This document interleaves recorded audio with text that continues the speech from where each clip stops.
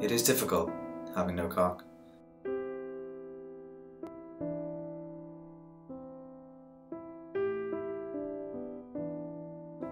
It presents you with challenges that most people just don't know about because of how many of them do have cocks.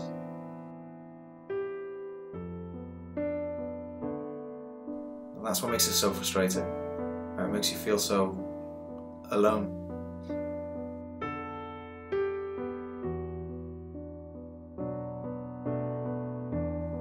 That's why I wanted to make this documentary.